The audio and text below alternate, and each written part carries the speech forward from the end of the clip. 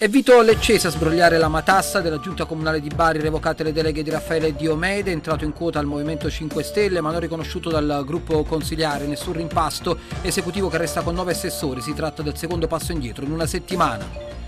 Uno alla periferia di Bari, all'Oseto, gli altri due nel sud-est dell'Interland barese, ancora un incidente nel Brindisino, tanti e tristi sinistri stradali, anche mortali, nelle ultime ore in Puglia.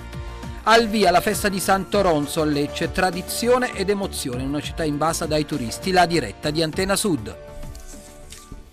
Sabato 24 agosto, ben ritrovati, benvenuti a questa edizione interregionale del nostro TG. In apertura ci occupiamo di eh, politica, è stato direttamente eh, Vito Leccese a sbrogliare la matassa della giunta comunale di Bari dopo ore di tensioni politiche anche apprensione. Revocate le deleghe di Raffaele Diomede, è entrato in quota al Movimento 5 Stelle. Ci racconta tutto Antonio Bucci. E Vito Recesi a sbrogliare la matassa della giunta comunale di Bari. È il sindaco a revocare le deleghe nelle mani di Raffaele Diomede, tecnico indicato dal Movimento 5 Stelle ma non riconosciuto dal gruppo consigliare di riferimento, tanto da portare i due consiglieri a denunciare l'appoggio esterno all'amministrazione. Due giorni di braccio di ferro e riunioni, da una parte il coordinatore provinciale Raimondo Innamorato che aveva indicato Diomede, dall'altra Antonello delle Fontane, Italo Carelli, che avevano accusato il primo di aver messo in atto una prova di forza in spregio della base del risultato elettorale. Nelle scorse ore era stato Diomede a rimettere il mandato nelle mani del movimento, ma di fumata nera in fumata nera la questione era finita in stallo. Il tempo è scaduto, ho il dovere di mettere fine a questa situazione di incertezza politica, spiega Leccese in un comunicato ufficiale, lo stesso, con il quale chiarisce che non ci saranno rimpasti all'orizzonte, né un rimescolamento di deleghe, né l'indicazione di un secondo nome condiviso dal movimento. La giunta, insomma, resta tale e quale e lavorerà con nove assessori anziché dieci, come nella formazione iniziale, L'antimafia è una cosa seria, commenta Diomede ringraziando chi lo aveva sostenuto. Gli uomini di Conte intanto lavorano a una soluzione interna, spiegano che al momento non si intravede. Resta il nodo politico. Si tratta del secondo assessore costretto al passo indietro in sei giorni, dopo Carlotta Nonnis Marzano, delegata all'ambiente, poi travolta dalle polemiche sui post social su Pontefice e G7. Ed ora la cronaca è stata sicuramente un'estate terribile sul piano degli incidenti stradali in Puglia. Nelle ultime ore ancora sangue sulle arterie pugliesi, diversi incidenti sono verificati in particolare nel Barese, alcuni mortali. Domenico Brandonisio. Comincia male il weekend sulle strade baresi, tanti gli incidenti che nelle scorse ore hanno riguardato da vicino il territorio. Uno di questi si è verificato a Bari, più precisamente nella periferia del capoluogo regionale. Nella tarda serata di venerdì 23 agosto, tra le 23 e le 23.30, alle porte del quartiere Loseto, lungo viale Trisorio Liuzzi, si è infatti verificato un incidente mortale che ha coinvolto una moto ed un'auto, come si vede dalle immagini. Ad avere la peggio il conducente del primo mezzo, un 36enne che sarebbe morto sul colpo. Feriti invece i due passeggeri a bordo dell'altra vettura. Diverse le pattuglie della Polizia Locale di Bari impegnate sul posto, che hanno poi eseguito tutti gli accertamenti del caso, inevitabili i rallentamenti alla circolazione stradale. Come detto, però, non è stato l'unico triste episodio. Nel pomeriggio, sulla Turica Samassima, un 32enne ha perso la vita dopo essere rimasto coinvolto in un incidente con il trattore. Un altro sinistro mortale si è infine verificato tra Cozza e Conversano, dove ha perso la vita un altro uomo in moto. Tra poco torneremo a parlare di incidenti stradali perché un altro incidente piuttosto grave si è verificato invece nel Brindisino eh, pochi minuti fa. Il nostro Michele Urlaro sta chiudendo il servizio che vi proporremo eh, tra poco. Continuiamo con la cronaca, una festa di compleanno è finita in tragedia eh, nel Tarantino, a Faggiano in particolare. Un ragazzo è stato accoltellato poco dopo il Brindisi. Sentiamo cosa è accaduto. Deve rispondere di tentato omicidio un ventenne di Palagiano accusato di aver accoltellato un diciannovenne reo di aver scongiurato una rissa scaturita tra due giovani a causa di un bicchiere di spumante riversato su uno di loro durante una festa di compleanno. Il fatto è avvenuto a Faggiano nel Tarantino nella centralissima piazza Vittorio Veneto. Secondo quanto ricostruito dai carabinieri intervenuti sul posto, il presunto autore del tentato omicidio avrebbe agito a seguito di una banalissima lite. Un gruppo di giovani, il brindisi per il compleanno, un ragazzo ragazzo bagna l'amico, scoppia il caos, una terza persona si mette in mezzo per placare gli animi e viene accoltellata con nove fendenti alla schiena. Il diciannovenne è stato trasportato immediatamente presso l'ospedale Santissima Annunziata di Taranto e fortunatamente non è in pericolo di vita. I carabinieri in poco tempo hanno rintracciato il presunto autore dell'accoltellamento che nel frattempo si era allontanato. Increduli i presenti. Sinceramente non, non ne stavamo parlando eh, per capire cosa no. C'è la pattuglia dei riccioli, qui c'è la, ci sono i riccioli. Sì, ieri sera c'erano vigili, carabinieri, arrivati no. Sì, però a quanto pare il ragazzo sta fuori pericolo, sta abbastanza. Dovrebbero, però purtroppo accade. C'è sgomento in città. La successiva ed accurata perquisizione personale e domiciliare ha consentito di rinvenire il coltello. Su disposizione dell'autorità giudiziaria, il giovane, dopo le formalità di rito, è stato condotto presso il carcere di Taranto in attesa di giudizio di convalida. Restiamo in argomento perché se c'è un'emergenza della quale si dibatte in tutta Italia nelle ultime settimane è quella relativa proprio alla violenza come abbiamo visto in questi casi, tra giovani, talvolta eh, giovanissimi, un uh, fenomeno in uh, crescita anche a Vieste, nel Foggiano, un fenomeno che preoccupa anche le istituzioni. Nelle scorse ore un nuovo eh, avvenimento ha visto coinvolti una decina di ragazzini in un video che poi è ripresi da, dal cellulare, il video poi è diventato eh, virale. Sentiamo Antonella Davola.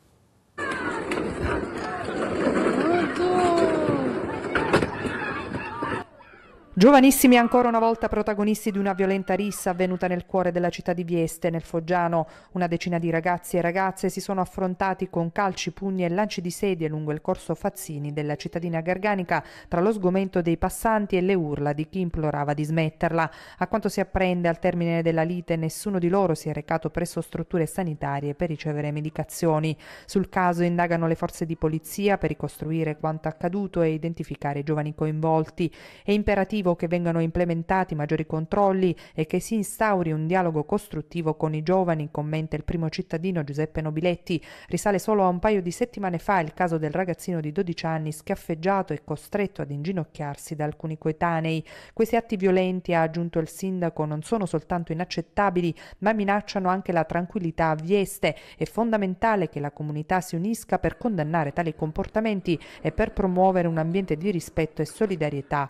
Chiediamo con urgenza, chiosa Nobiletti, il potenziamento delle misure di sicurezza da parte delle forze dell'ordine. Vincenzo Stranieri, ex boss della Sacra Corona Unita, torna in carcere per inosservanza degli obblighi. Marzia Baldari.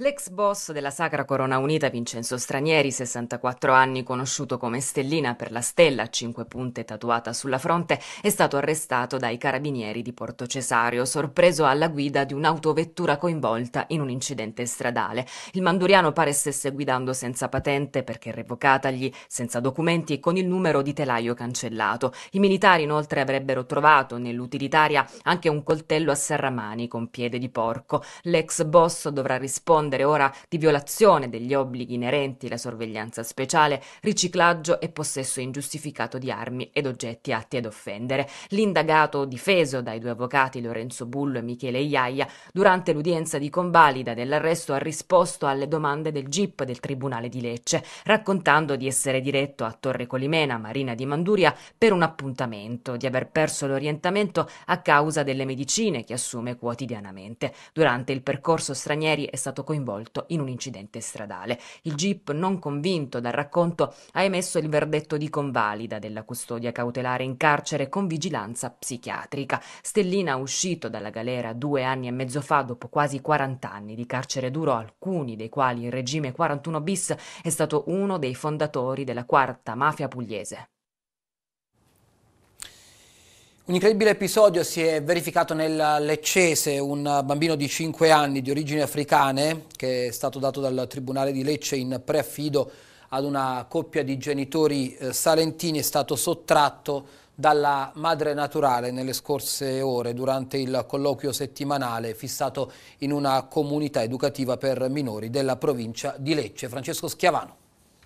La Procura di Lecce ha attivato il protocollo Codice Rosso in seguito alla scomparsa di un bimbo di 5 anni originario della Costa d'Avorio che è stato portato via dalla madre da una comunità educativa per minori nella quale si trovava per il consueto incontro settimanale con il genitore. L'episodio si sarebbe verificato nel pomeriggio di giovedì 22 agosto. Intorno alle 15.30 la donna di 40 anni si sarebbe presentata presso il centro di Galatina per passare un po' di tempo con il piccolo. Quest'ultimo infatti da qualche mese ha avviato un percorso di affidamento in una nuova famiglia individuata dalla Procura per i minori dopo che i giudici hanno tolto la potestà genitoriale alla madre biologica. Da quanto si apprende il bimbo prima dell'incontro appena visto la mamma si sarebbe staccato dall'assistente sociale andandole incontro per abbracciarla. La donna a questo punto lo avrebbe preso in braccio e insieme sarebbero saliti in macchina allontanandosi mentre l'assistente sociale tentava invano di fermarli. Immediatamente i responsabili del centro si sono recati presso il comando stazione dei carabinieri di Galatina per sporgere denuncia, in seguito alla quale si sono immediatamente attivate le ricerche. L'allert è stato diramato a tutte le forze di polizia del territorio nazionale ed europeo. A coordinare le indagini il sostituto procuratore Alberto Santa Caterina e la collega Maria Grazia Anastasia. Stando a quanto è dato sapere, l'auto utilizzata dalla donna è stata presa in noleggio e non si esclude che la quarantenne avesse pianificato la sottrazione del minore da tempo tempo. Dai primi accertamenti tecnici il suo telefono risulta agganciato ad una cella che copre la zona di campagna tra Gallipoli, Alezio e San Nicola. Non è ancora chiaro però se il cellulare sia stato abbandonato nella zona oppure se la donna con il suo bambino si trovino in quell'area.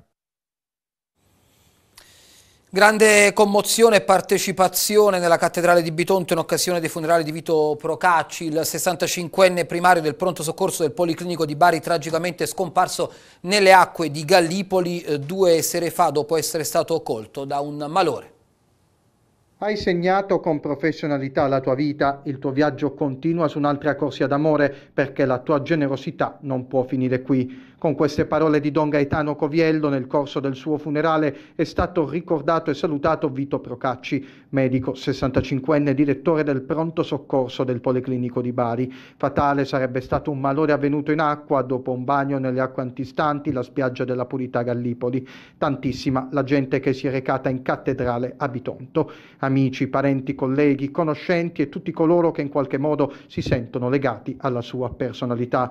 La sua enorme attività di lavoro durante l'emergenza Covid in unità operativa non è passata inosservata perché si è speso anche oltre l'ordinario per salvare vite. Uno sforzo che gli sarebbe inizialmente costato 21.000 euro di multa, provvedimento poi sospeso con tanto di scuse da parte del Presidente della Repubblica Sergio Mattarella, un vero e proprio simbolo della sanità pugliese che avrà un importante riconoscimento. Abbiamo, abbiamo pensato insieme al Presidente Emiliano di intitolare il reparto del pronto soccorso uh, a Vito.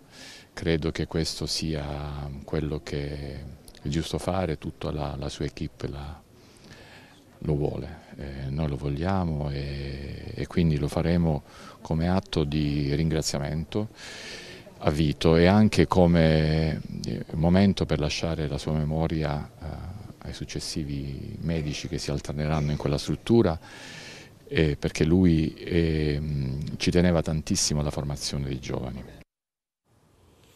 A Brindisi tiene banco la polemica interna al comando dei vigili del fuoco con la rottura totale tra il comandante e le organizzazioni sindacali. Questa mattina manifestazione per chiedere rinforzi sul piano dell'organico e una rivisitazione dei turni. Anna Saponaro.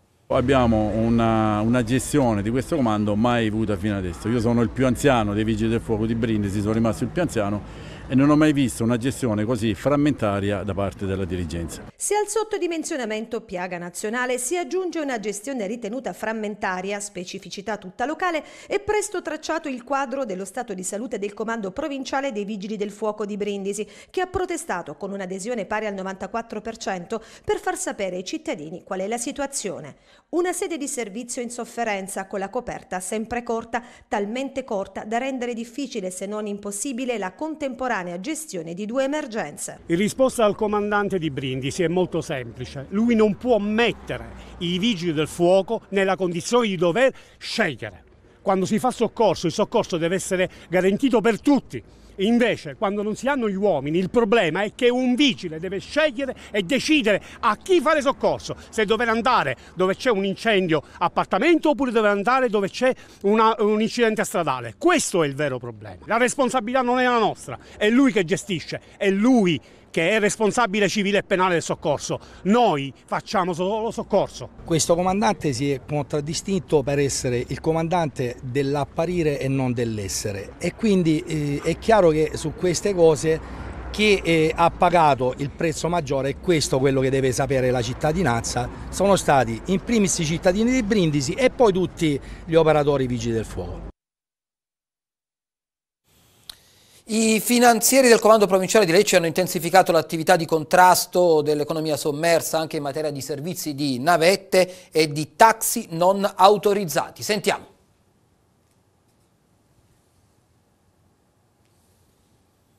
Dovrebbe essere pronto il servizio rispetto a questa operazione che è stata effettuata a Lecce. Da tempo c'erano, infatti, abbiamo, ne abbiamo parlato anche in passato, eh, delle lamentele da parte dei tassisti regolarmente autorizzati rispetto a qualcuno che evidentemente faceva il furbo. Vediamo.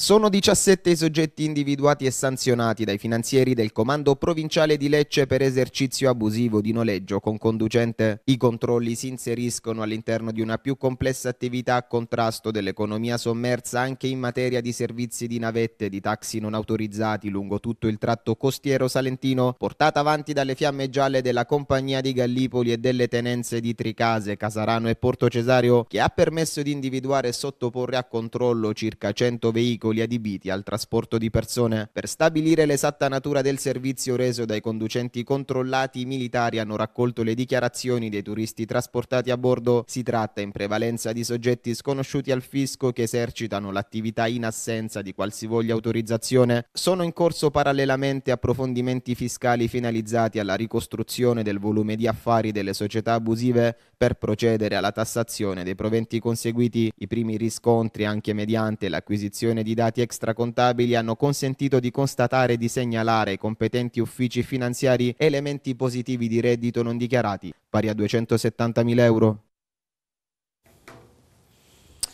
Adesso cambiamo argomento. L'ENAC approva l'accordo di programma. All'aeroporto di Grottaglia andrà il 23% degli oltre 218 milioni destinati per gli aeroporti pugliesi. Valentina Fanigliulo.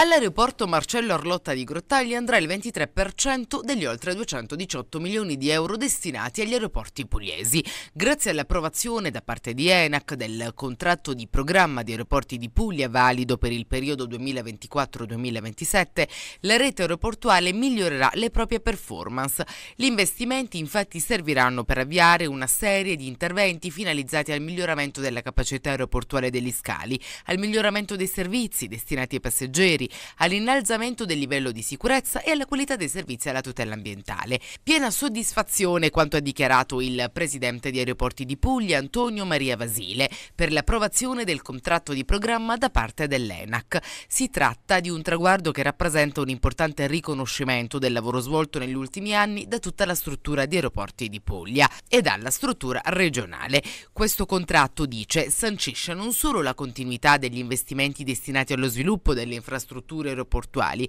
ma anche l'impegno verso l'innovazione e la sostenibilità. L'approvazione permette dunque di potenziare ulteriormente i servizi offerti dai passeggeri, prosegue Vasile, migliorando l'efficienza operativa, rafforzando la competitività degli scali pugliesi, con uno sguardo sempre attento alle nuove sfide del trasporto suborbitale, nel quale lo spazio porto di Grottaglie è destinato a svolgere un ruolo fondamentale.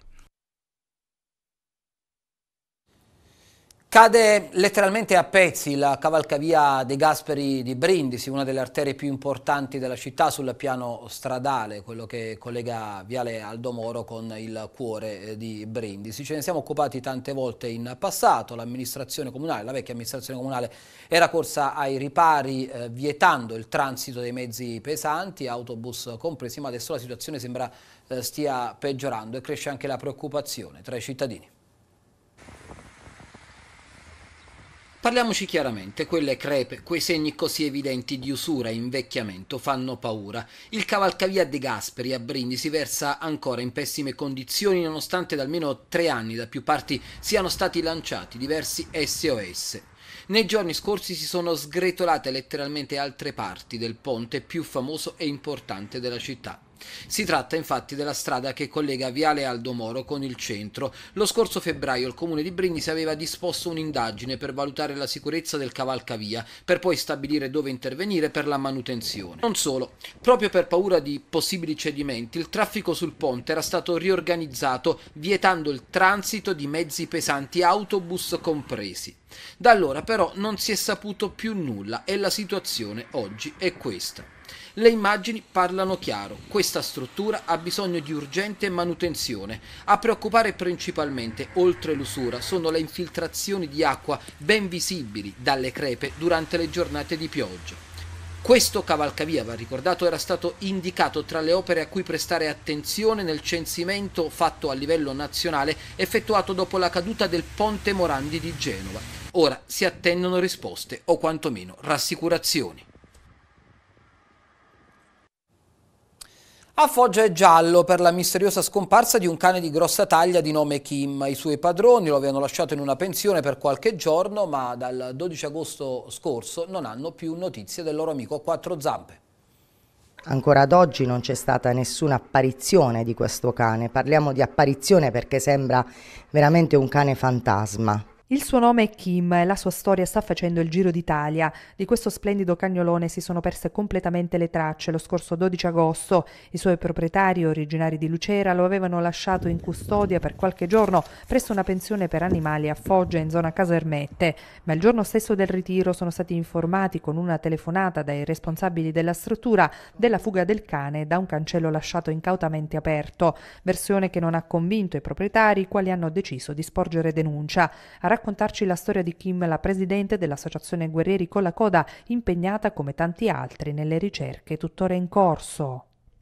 Chiunque lo veda è pregato di chiamare o noi dell'Associazione Guerrieri con la Coda oppure direttamente ai numeri che ci sono su tutti i post che stanno girando in tutta Italia, perché diciamo che Kim è diventato eh, un po' il figlio di tutti perché un cane così bello, così mastodontico, così umanizzato è impossibile che non si ritrovi.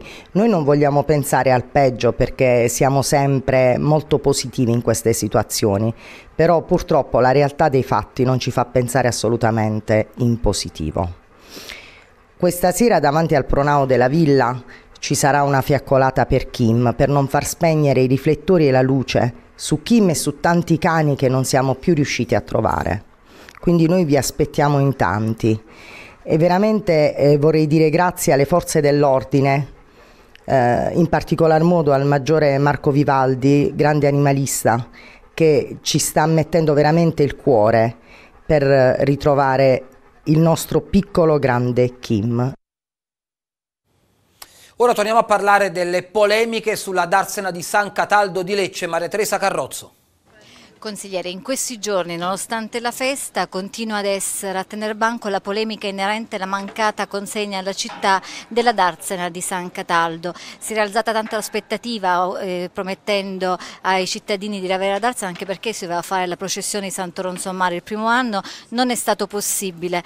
L'assessore Scorrano e l'assessore Giordano Anguilla hanno un po' puntato il dito verso anche una forma di sabotaggio. Gli uffici di Bari hanno rallentato la pratica pratica?